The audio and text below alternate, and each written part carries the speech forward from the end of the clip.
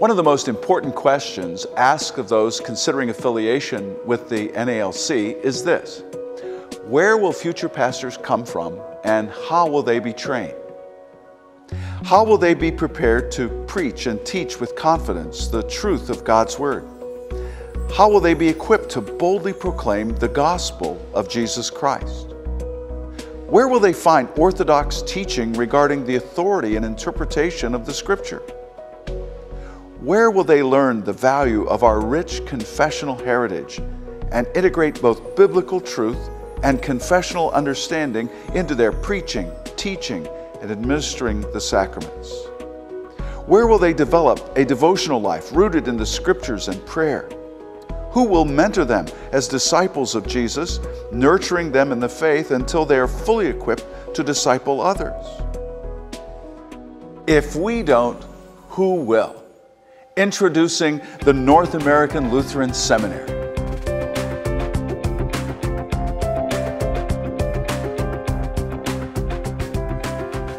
The NALC's Task Force on Theological Education has been hard at work developing a plan to address the need for a seminary.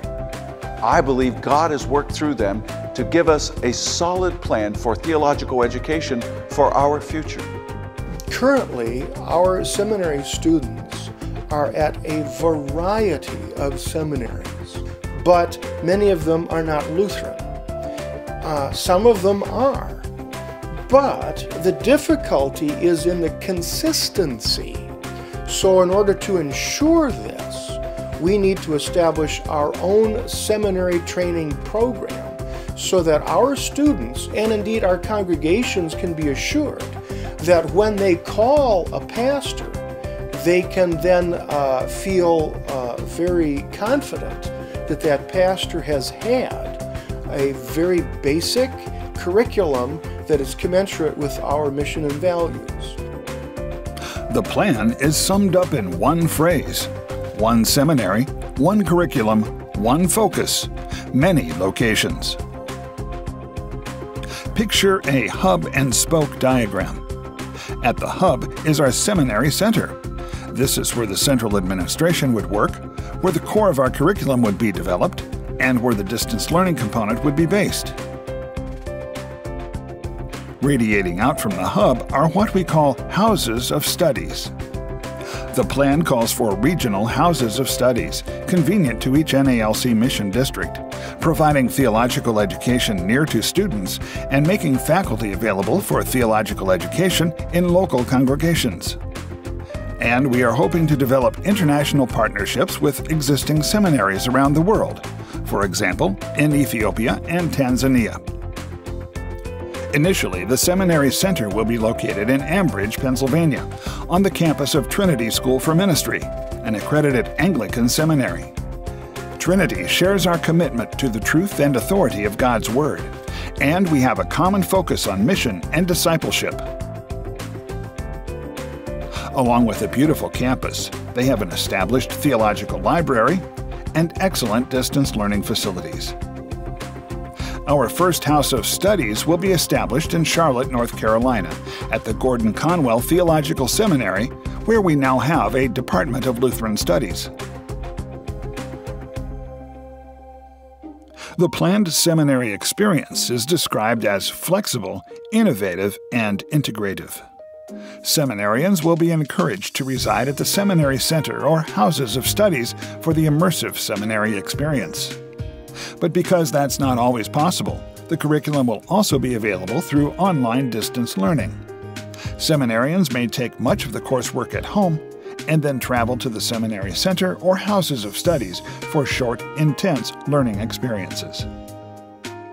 It makes for a much better educational experience so that it will be online, yes, but it will also incorporate face to face time with the professor and the other students as well. In keeping with the NALC's lean philosophy, the North American Lutheran Seminary staff will be compact. A seminary governing board will be appointed with the bishop as an ex officio member. Working at the seminary center will be the seminary director and a secretary registrar. At each of the houses of studies, a House of Studies director will manage the local program. The plan for faculty is that our seminary center and houses of studies will work in partnership with existing Orthodox seminaries. As such, we will take advantage of compatible coursework currently taught by faculty at the host sites. But for certain subjects, we will employ full time or part time faculty to round out our own confessional Lutheran curriculum. This teaching staff will vary depending on student enrollment and the particular needs of the seminary center or houses of studies. Funding for the seminary center and houses of studies will come from multiple sources tuition, NALC's funding, and from congregations and individuals through endowments, bequests, and donations. When we ask the question, where will our pastors come from for the future? We must turn that question back on ourselves and confess our responsibility to raise up leaders from our congregations who are open to Christ's call to serve in word and sacrament ministry. And we must provide them with the educational experience that ensures their competence and confidence to faithfully lead our congregations in word and sacrament ministry. The unique thing about this seminary plan is that rather than investing in bricks and mortar, we can make an investment in people. We'll be making an investment in faithful, distinguished faculty.